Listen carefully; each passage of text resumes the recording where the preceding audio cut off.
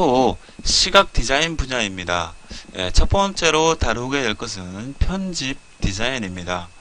이 편집 디자인은 신문, 잡지, 서적 등의 인쇄물을 시각적으로 구성하는 시각 디자인의 한 분야로 출판 디자인 또는 editorial 디자인이라고 불립니다.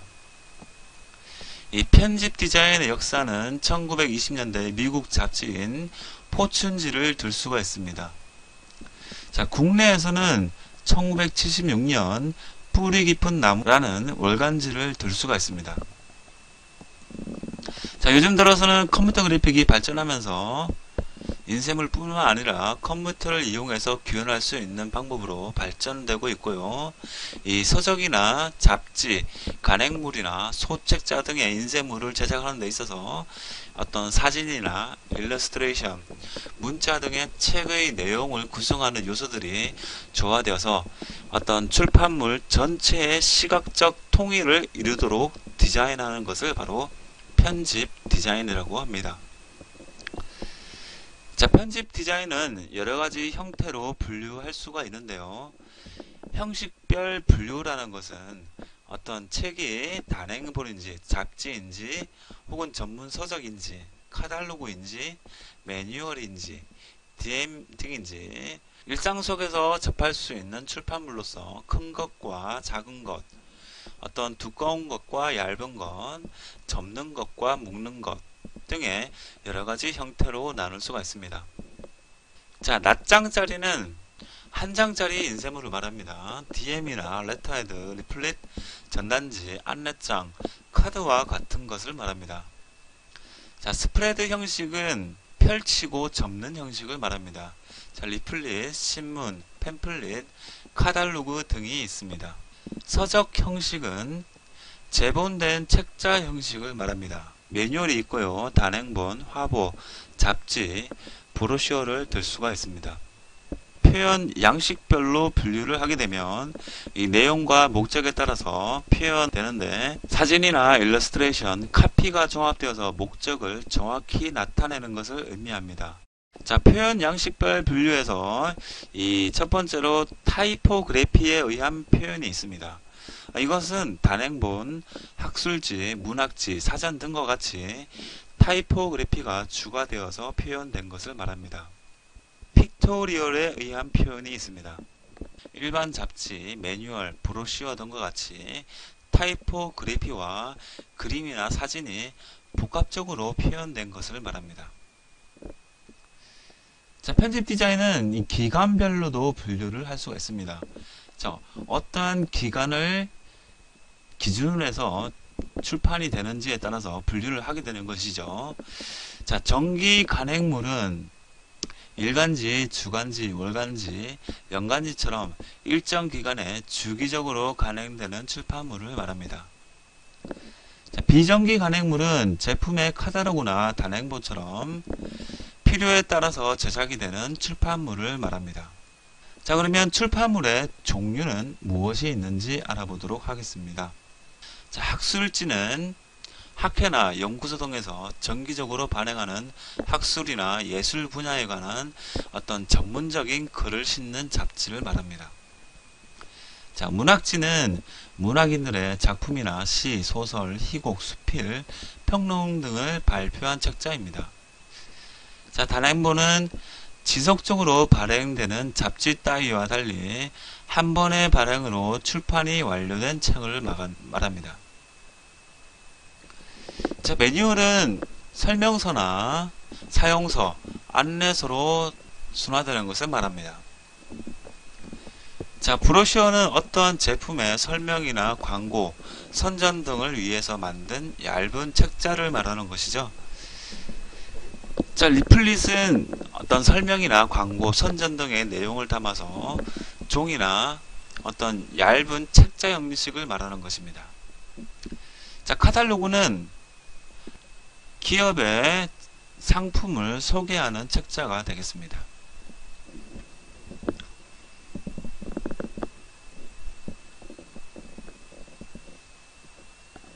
자, 이제 출판물의 어떤 내용적인 것들을 한번 살펴보도록 하겠습니다. 자, 첫 번째 뭐 planning이라는 걸 볼, 아, 들 수가 있는데요. 이것은 편집물의 전체적인 골격에 해당하는 것을 말합니다.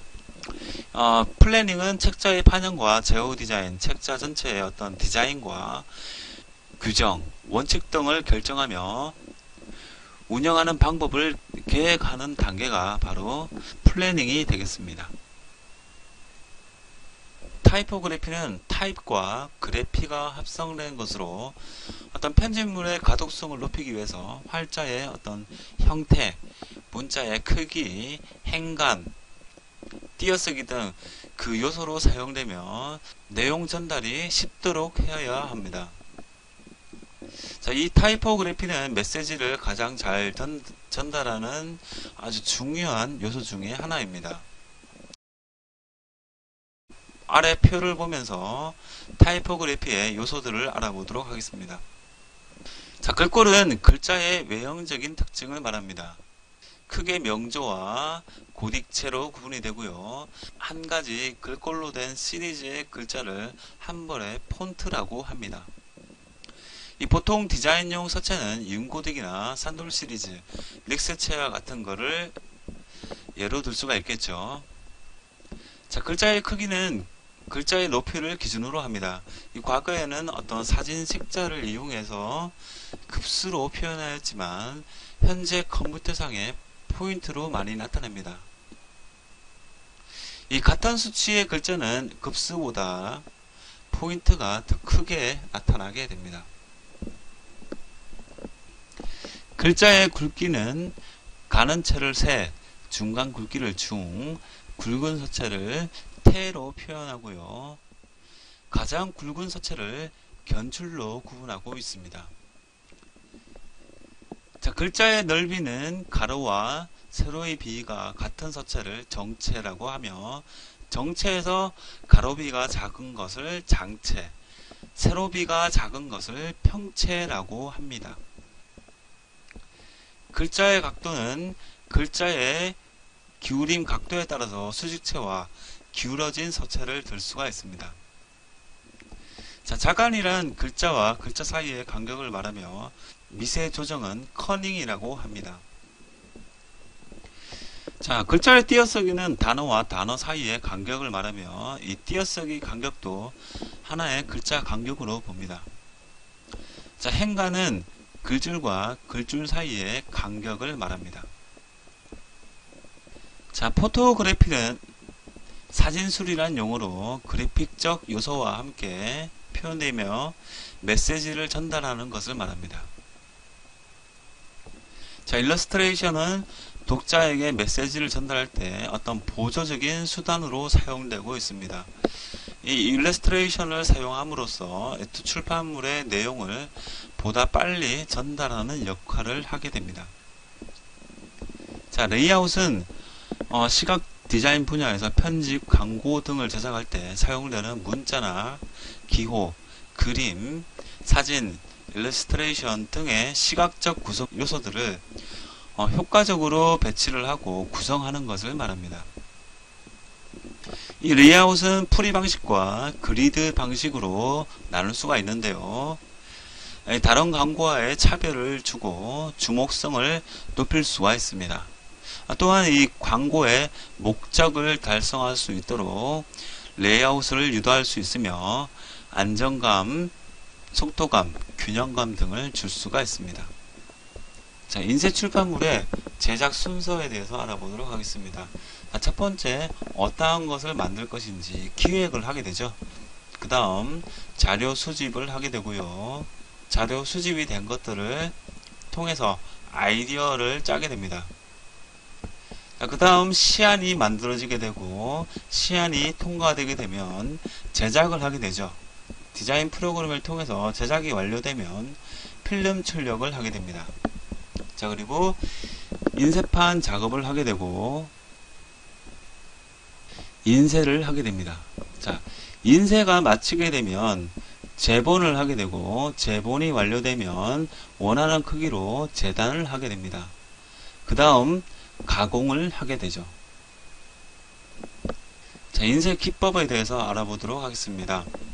인쇄는 종이를 비롯한 그 밖의 피인쇄 매체에 화상을 복제를 하는 것으로 지식과 정보를 신속하고 값싸고 정확하게 전달, 보존하는 역할을 하는 매체입니다.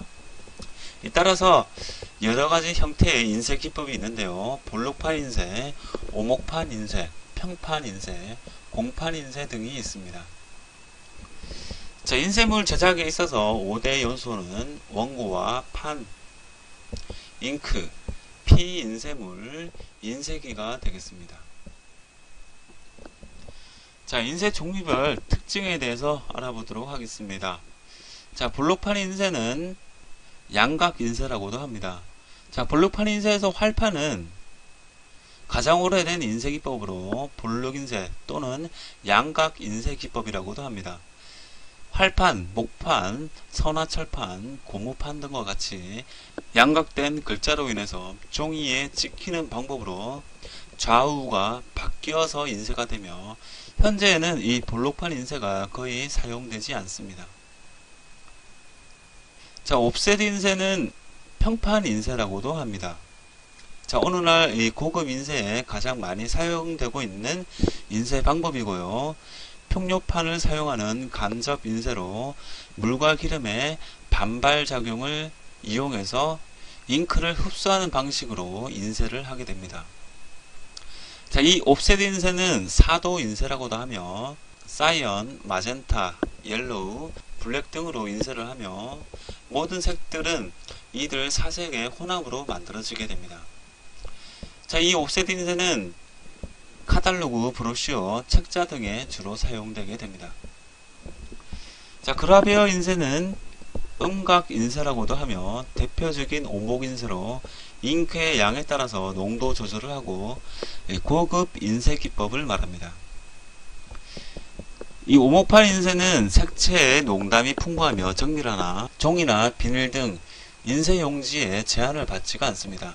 따라서 대량 인쇄가 가능하고 인쇄의 질이 우수하지만 재판 비용이 비싸서 고급 인쇄에 속하며 가격이 비싸기 때문에 소량일 때는 적합하지가 않습니다. 이 주로 그라비아 인쇄는 포장이나 비닐, 증권, 지폐, 미술 책자 등에 주로 사용이 됩니다. 자, 실크 스크린, 스크린 인쇄라고도 하며 대표적인 공판 인쇄 기법입니다. 어, 실크 스크린은 망사의 구멍으로 잉크를 통과시켜서 종이에 인쇄하기 때문에 대량이나 고속 인쇄는 어렵고요. 이 정밀한 표현은 어렵지만은 문구나 완구, 티셔츠, 사인물, 현수막, 피혁과 같은 제품에 많이 사용되고 있습니다. 자, 앞서 말씀드렸다시피 어떤 각 인쇄 방법에 따라서 그 용도가 나눠지는데요. 이 볼록판 인쇄는 불경 등의 탁본용으로 사용되었고 현재는 거의 사용되지 않습니다. 자, 평판 인쇄는 대부분의 인쇄물을 찍을 때 많이 사용합니다. 이 오목판 인쇄는 포장지나 비닐, 증권, 지폐 등과 같이 고급 인쇄물을 인쇄할 때 많이 사용되고 이 공판 인쇄는 완구나 문구, 도자기, 기념품 등의 인쇄에 많이 사용됩니다. 자 아래 그림을 보시면 각 어, 인쇄 기법에 따라서 그림이 아주 알기 쉽게 표현이 되고 있습니다. 자, 스크린 선수와 인쇄 선수에 대해서 알아보도록 하겠습니다. 자, 인쇄에 필요한 선수로는 사방 1인치 안에 들어있는 선의 개수를 말합니다. 이 신문 인쇄의 경우에는 가장 낮은 80에서 100선 정도이며 책자 등의 고급 인쇄에는 133선 또는 150선이 사용됩니다. 이 보통 선수는 이미지 해상도의 두 배로 계산이 되는데요. 이 만약 고급 책자의 이미지 해상도는 선수의 두 배인 300dpi의 해상도로 작업되게 됩니다. 자, 아래 표를 살펴볼까요? 자, 옵셋 4도 인쇄라는 것은 cyan, magenta, yellow, 검정색 이렇게 네 가지 색상을 조합해서 인쇄하는 것을 말합니다. 자, 여기서 이 별색 인쇄라는 것이 있는데 위 CMYK의 색상으로 낼 수 없는 색, 즉 어떤 금색이나 은색 등과 같이 별도의 사색을 조합해서 만들 수 없는 색을 별도 판을 만들어서 인쇄하는 것을 바로 별색 인쇄라고 합니다. 즉 어, 기본 사, 사색 판에다가 한색 판을 더 더하게 되는 거죠. 자, 별색 인쇄 시에는 인쇄 시 망점이 없으므로 인쇄의 색상이 선명하며 형광색과 같은 특정 색을 표현할 수가 있습니다.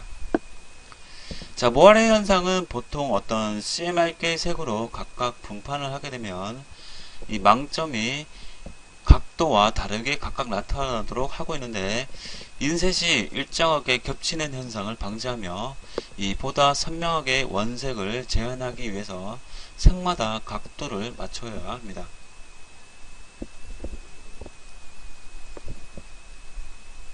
자, 다음은 광고 디자인입니다. 이 광고의 목적은 상품 또는 기업의 서비스에 대해서 이 대중들에게 효과적으로 전달하여서 구매 의욕과 이용을 높이기 위한 상업적인 수단을 말합니다. 자, 광고의 기능으로는 어떤 경제적 기능과 사회 문화적 기능, 정보 제공의 기능, 문화적 기능, 대중 매체의 어떤 육성 기능을 가지게 됩니다. 자, 광고를 어떻게 하느냐에 따라서 여러 가지 광고로 분류를 할 수가 있습니다. 자, 기능적인 분류는 직접 광고와 간접 광고가 있습니다. 직접 광고는 상품에 대한 직접적인 기술과 장점을 알리는 것이고, 간접 광고는 간접적인 접근 광고로 이미지 광고, 기업 광고, 예고 광고가 있습니다. 자, 요즘은 이런 간접적인 광고와 직접적인 광고를 대기업에서 많이 하고 있죠. 자, 지역적 분류로는 전국 광고와 지역 광고가 있습니다. 자, 예를 들어서 농사를 짓는 데 필요한 제품의 경우 전국 광고보다는 어떤 지역 광고가 더 효과적이겠죠. 자, 대상별 분류로는 소비자 광고가 있고 전문 광고가 있습니다. 자, 일반 소비자에게 광고는 일반 광고가 되겠지만 어떤 특정한 전문가 집단을 대상으로 하는 광고는 바로 전문 광고가 되겠습니다. 소구 내용별 광고는 어떠한 내용을 가지고 광고를 하느냐 하는 것으로 일반 상품 광고와 기업 광고가 있습니다. 자, 소구 형태별 광고는 소비자의 어떤 감성적인 면을 이용하는 감성 광고와 이성적으로 상품의 이점을 제시하는 이성 광고로 나누어지게 됩니다.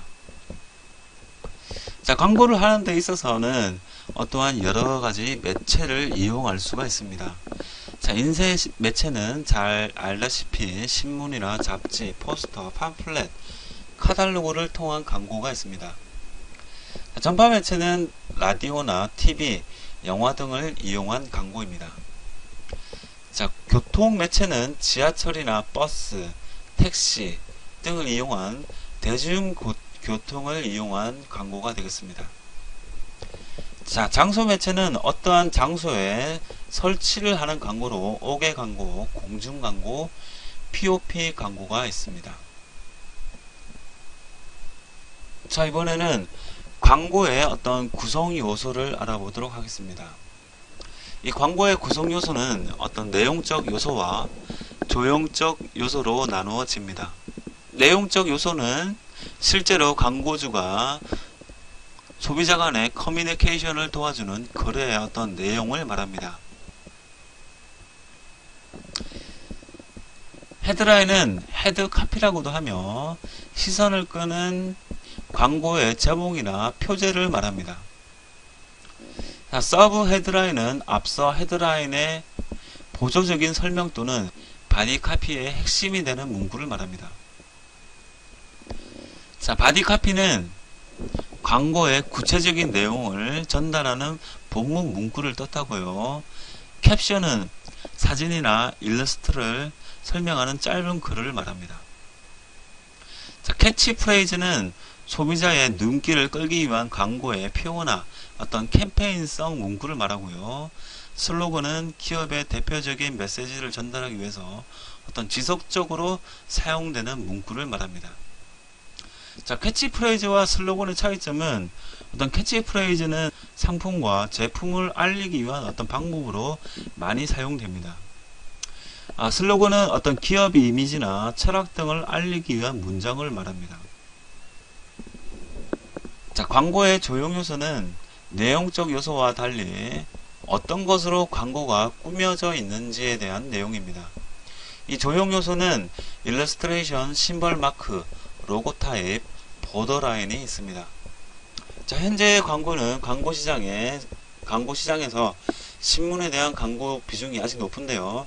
이 신문은 신속하고 정확한 정보를 전달하는 매체이므로 어떤 정보의 신뢰도가 높고 구독, 구독률이 높기 때문에 안정성이 높은 광고라고 할 수가 있습니다.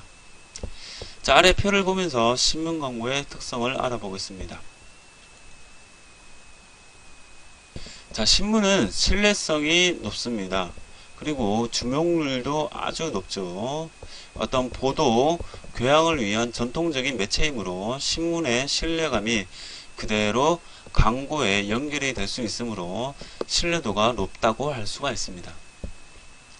자, 설득성은 제품에 대한 자세한 광고를 할 수가 있으므로 타 광고에 비해서 기업 광고에 용이하고 설득성이 아주 높습니다.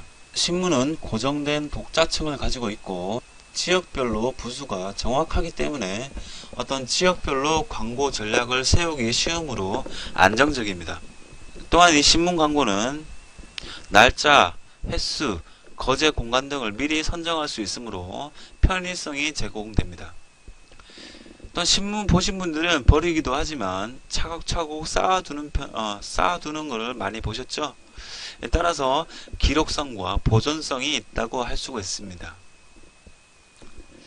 또 광고비, 원고 제작비가 비교적 저렴하며 경제적이라고도 할 수가 있습니다. 자, 신문 광고라 해서 뭐 장점만 있는 것도 아니겠죠. 물론 단점도 있습니다. 장점은 앞서 말씀드린 것과 같고요.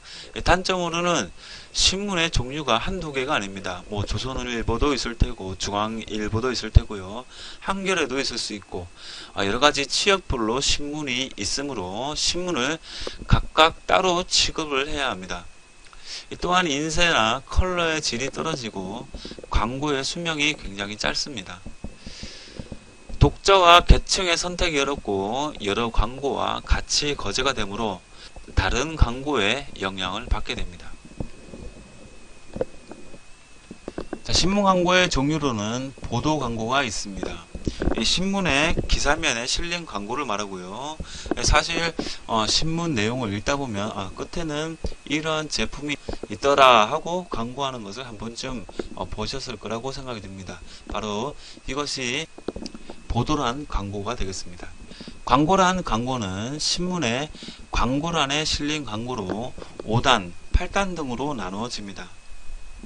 이 티저 광고는 요즘 유행하는 광고이기도 한데요. 한 번에 다 공개하는 것이 아니라 조금씩 조금씩 어떤 독자의 관심을 고조시키고 상품이나 서비스 형태를 보여주는 광고입니다. 자, 멀티 광고는 광고의 형식은 같지만 내용을 조금씩 다르게 해서 여러 면에 걸쳐 거제하는 광고를 말합니다. 자, 타이업 광고는 두 회사의 광고를 한 지면에 광고하는 것을 말합니다. 자, 신문 광고의 규격은 한 단의 길이가 3.4cm로 5단 광고는 가로 37cm, 세로 17cm가 됩니다. 자, 세로로 총 15단으로 구성되어 있으며 5단, 8단, 10단 등으로 구성되어 있습니다. 야, 전면 광고의 경우 15단 광고를 말합니다. 자, 잡지 광고는 일정한 간격으로 장기간에 걸쳐서 간행되는 출판물을 말합니다. 이 잡지 광고의 장점으로는 특정한 독자층을 가지게 됩니다. 어, 낚시를 좋아하는 사람이 있겠고요. 음악을 좋아하는 사람처럼 각기 다른 특정 인해를 대상으로 전문성을 띠고 있으며 어떤 세분화된 내용으로 특정층에게 소구되는 것이 특징입니다. 장점은 특정한 독자층을 가지기 때문에 회람률이 높고 매체로서 생명이 긴 것이 특징입니다. 또한 잡지 광고는 고급 인쇄가 가능하므로 컬러 인쇄 효과가 크고요. 구체적으로 전문적인 내용을 전달할 수가 있으며 광고비가 저렴한 것이 특징입니다. 잡지 광고의 단점은 빠르게 정보를 전달할 수가 없다는 단점이 있습니다. 일정 기간을 가지고 발행이 되므로 정보를 빠르게 전달할 수 없으며 이 잡지의 규격에 따라서 광고비가 상승할 수 있으며 옆쪽에 실린 광고에 영향을 받을 수가 있습니다. 자, 잡지 광고의 종류에 대해서 알아보도록 하겠습니다. 이 잡지 광고는 표지 1면 광고, 표지 2면 광고, 자, 표지 3면 광고, 표지 4면 광고, 또 차례 광고 등이 있는데요. 이 가장 광고로서 효과가 큰 것은 표지 4면 광고로 뒷표지에 실리는 광고를 말합니다. 자, 표지 일면 광고가 아닐까라고 여러분들 생각하시는 분도 있었을 거라고 생각이 듭니다. 하지만 이 표지 일면에는 어떤 잡지의 제목이나 이미지 등이 배치가 되므로 비교적 광고의 효과가 사면에 비해서 떨어지게 됩니다.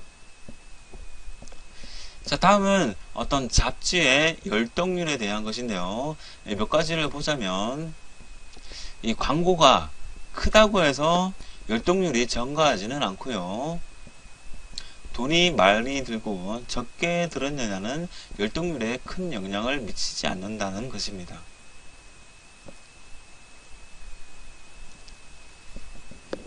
자, 라디오 광고는 1920년대 라디오가 등장하면서 기존의 어떤 지면으로만 이루어지던 광고는 어떤 새로운 국면을 맞게 됩니다. 이 다른 매체와는 달리 소리에 의존하기 때문에 장소에 크게 구애받지 않아서 반복적으로 광고가 가능하며 소비자에게 어필할 수가 있습니다. 이 라디오 광고의 장점으로는 장소에 구애받지 않고 신속 정확하게 전달할 수가 있고 어떤 시간이나 연령 등에 고려하여서 전달할 수가 있고 이 라디오가 방송되는 지역별로 광고를 할 수 있다는 장점이 있습니다. 자, 단점으로는 소리만 듣기 때문에 어떤 정확한 의미나 뜻이 혼동되어서 전달될 수가 있습니다. 어, 정확한 이해가 필요한 광고의 경우에는 이 라디오 광고가 적합하지 않을 수 있습니다. TV 광고는 오디오와 비디오가 합쳐져서 텔레비전을 통해서 소비자에게 메시지를 전달하는 광고로 소비자들에게 가장 친근감을 줄 수 있는 매체이며 효과가 아주 큰 광고라고 할 수 있습니다. 자, TV 광고의 장점은 매체 중 전달력이 가장 큰 매체이며 대상에 따라서 광고를 시간대별로 선택할 수가 있습니다. 이 멀티적이어서 감정이입에 효과가 크고 대중의 분포도와 방송의 빈도수가 많아서 반복 효과가 큽니다. TV 광고의 단점은 광고 다른 광고 매체와 비교해서 비용이 아주 비싸고 광고의 수명이 아주 짧습니다. 그리고 실천률에 따라서 광고 효과가 틀리게 나타나고 제작 기간이 오래 걸린다는 단점이 있습니다. 자, TV 광고의 종류로는 스포 광고가 있는데요. 스포 광고는 어떤 하나의 TV 프로그램이 끝나고 다음 프로그램이 시작되기 전 삽입되는 광고를 말합니다. 자, 프로그램 광고는 광고주가 특정 프로그램에 제공하여 그 프로그램 속에 광고 메시지를 삽입하는 것을 말합니다. 자, 스폰서십 광고는요. 특히나 스포츠 경기에서 많이 볼 수 있는데 프로그램의 경비를 광고주가 부담하고 광고권을 광고주가 가지는 형태를 말합니다. 자, 네트워크 광고는 전국 방송망을 가진 방송국에서 전국을 통해서 실시하는 광고를 말합니다. 자, 로컬 광고는 특정한 지역에 광고하는 광고를 말합니다. 자, 블록 광고는 하루 방송 시간 중 일정한 시간을 정해서 30초 CM을 10회 계속 방송하는 광고를 말합니다. 자, 포스터에 대해서 알아보도록 하겠습니다. 포스터는 기둥이나 벽에 붙인다는 뜻으로 일정한 지면 위에 그림이나 사진, 문양 등을 시각적으로 구성하여서 전달하는 광고를 말합니다. 이 포스터 광고의 장점은 설득력이 매우 높고 연속적인 부착을 통해서 주목성이 아주 높습니다. 이 또한 크기와 색상을 자유롭게 할 수 있고 고급 인쇄가 가능합니다. 자, 단점이 있습니다. 어, 날씨나 기타 여건에 의해서 훼손이 많이 되므로 수명이 짧다는 단점이 있습니다. 이 또한 해당 지역에 한정되므로 소구 대상이 한정적이다는 단점이 있고 어떤 논리적인 설명이 약합니다. 자, 포스터의 종류는 연극, 영화, 음악회, 박람회, 전람회를 알리기 위한 문화행사 포스터가 있고요. 소비자와 상품과의 연결 수단으로 구매 의욕을 일으키게 하는 상품 광고 포스터가 있습니다.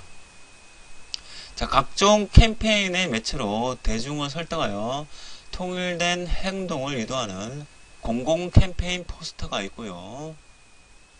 관광 동기와 욕구를 유발시켜서 관광 행위를 유도하는 관광 포스터가 있습니다. 어떤 새로운 시각적 예술성을 지닌 포스터로 장식 포스터가 있습니다.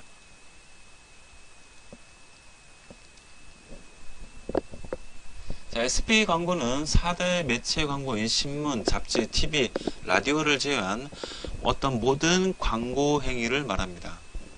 자, SP 광고는 패키지, 이벤트, 디스플레이, 옥외 광고, 교통 광고 등이 있습니다. POP 광고는 구매 시점 광고라고도 하며 소매점의 점두 또는 점 내에서 하는 소매점 광고로서 제조업자가 판매 성과를 올리기 위하여 소비자의 행동에 초점을 맞춘 광고입니다. 이 소비자가 무엇을 원하는지 정확하게 파악해야 합니다. POP 광고의 기능은 소비자에 대한 기능, 판매점 측에서 본 기능, 광고주 측에서 본 기능으로 나눌 수가 있습니다. POP의 종류로는 누가 만드는지에 따른 제작자별 분류, 어떤 곳에 설치하느냐에 따른 장소별 분류, 이 목적에 따른 목적 기능별 분류로 나눌 수가 있습니다. 자, 대형 광고는 4대 광고 매체처럼 대량 광고와는 달리 어떤 특정한 개인이나 단체 또는 예상되는 고객에게 직접 우편으로 보내서 성과를 거두려는 광고 방법을 말합니다. 자, 디행 광고의 장점은 특정 회사가 회원에게 직접 보내는 우편물에 포함된 광고로 회원제로 운영되어 예상된 고객을 선별할 수가 있고 광고 시기와 빈도를 조절할 수가 있습니다. 자, 디행 광고의 단점은 고객의 선택 관리가 어렵고 우편료와 소량 인쇄 등으로 단가가 상승할 수가 있습니다. DM의 종류로는 엽서나 폴더 형태의 광고물, 속채자, 리플렛 등의 종류가 있습니다.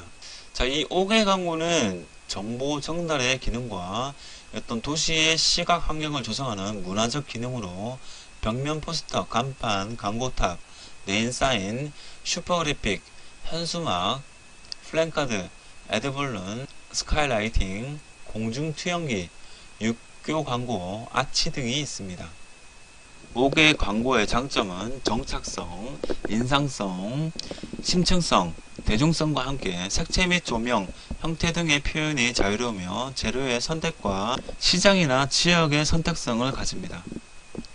자, 단점은 내용이 한정적이므로 많은 양의 전달이 어렵고 환경 규제나 주변 환경과 어우러져야 하므로 이미지 제고가 아주 큽니다.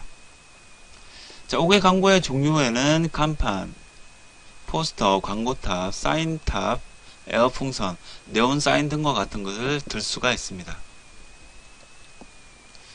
자, 포장 디자인은 패키지 디자인이라고도 합니다. 산업이 발달하면서 포장의 기능 외에 내용물의 판매 촉진을 도와주는 역할도 하며 제품의 생산, 소비, 유통의 방식이 시대와 더불어서 변하게 되는데 이 포장 디자인은 어떤 상품의 보호와 보존, 전달성, 편리성, 소구성, 재활용 등의 기능을 가져야 합니다. 자, 포장의 조건으로서는 제품을 우선 보호해야 하며 제품의 정보나 성격이 잘 전달되어야 합니다. 자, 유통 시 취급이 용이하고 소비자로 하여금 구매 의욕을 느낄 수 있도록 해야 합니다. 또한 경쟁 상품과 차별화될 수 있도록 해야 합니다. 포장 디자인의 기능은 제품의 보호와 보존성, 편리성, 상품성, 신미성을 가져야 합니다. 포장 디자인의 매체는 포장 디자인, 쇼핑백, 라벨 디자인이 있습니다. 자, 포장 재료에는 보통 판지나 골판지를 이용해서 만들게 되고요. 판지의 종류는 디자인 재료 부분에서 자세히 또 알아보도록 하겠습니다. 포장 디자인이 필요한 개발 시기와 요건에 대해서 알아보도록 하겠습니다. 새로운 포장 디자인의 개발 시기는 좀 더 향상된 디자인을 원하거나 성숙기에 이르러서 이윤이 점점 하락하고 점유율이 떨어질 때 어떤 소비자의 구매 심리가 변하거나 경쟁 제품이 시장을 리드를 하거나 어떤 유통의 경로가 변해서 새로운 시장에 진입을 하거나 새로운 포장 디자인의 개발이 필요할 때 포장 디자인의 개발이 필요하게 됩니다.